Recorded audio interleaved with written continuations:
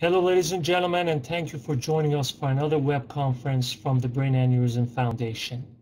This evening, we're especially lucky to have a very special individual with us, Dr. Robert Brown, the Chairman of Neurology at Mayo Clinic in Rochester, Minnesota. I know Dr. Brown personally since I personally trained in Mayo Clinic there, and I can tell you he's one of the most gifted physicians I've ever met, and he's one of my role models. Bob, I want to thank you for joining us this evening. I'm sure lots of us are interested in knowing what is really the answers to the most common questions we have about brain aneurysm. This talk will start with a, um, a, show, a slideshow presentation and obviously will end with answering your common questions. I appreciate if you can please keep your questions until the end of the talk. Bob, thanks again and please go ahead. Thank you and good day everyone. Good evening or good morning wherever you might be at. And i really appreciate uh, the opportunity to be here with you. And aaron uh, dr cohen thank you for those kind comments as well.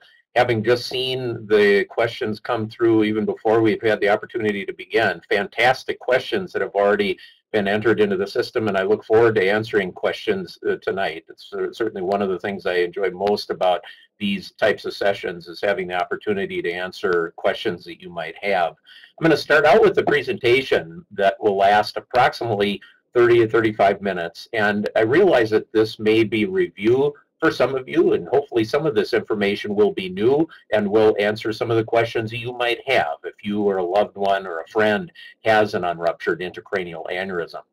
So we'll go ahead and get started with the presentation, and I'm going to start with some of the basics just to make sure that we've adequately addressed some of the key background issues regarding what is a brain aneurysm.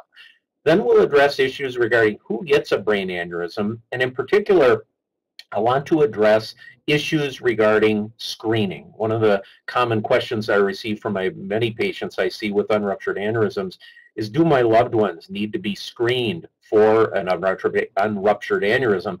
And if so, how should they be screened? We'll also talk about why they occur and whether there's anything that you can do to prevent the likelihood of having an aneurysm, what symptoms you might have related to that unruptured aneurysm and how it can be detected. And we'll talk quite a bit about the question, does the aneurysm need to be treated? If you have an unruptured aneurysm, does it need to be treated? And what helps to guide you and your physician in terms of making that decision?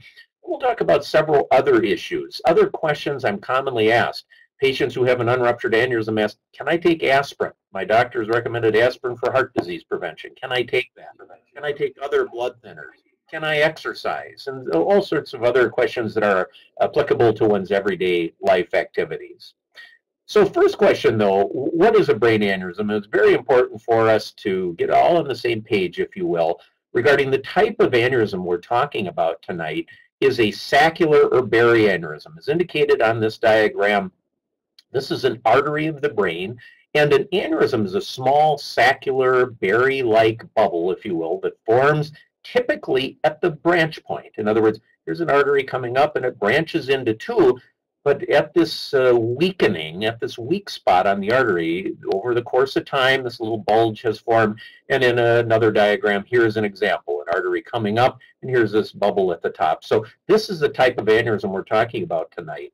There are other aneurysms, other types of aneurysms that occur in the body uh, that are non-saccular aneurysms, but the type of aneurysm we're talking about tonight, for the most part, is a saccular aneurysm.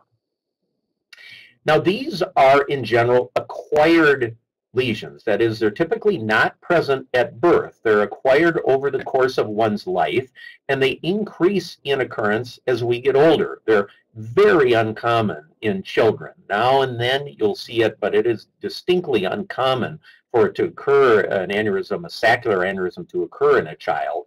And as I mentioned a moment ago, they occur at branching points of the major arteries in the brain.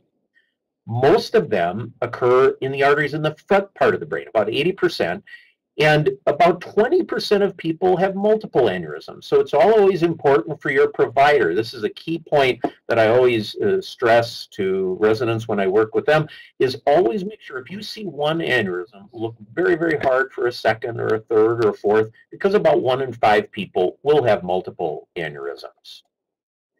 Now, uh, this is just a diagram that shows you where aneurysms perform.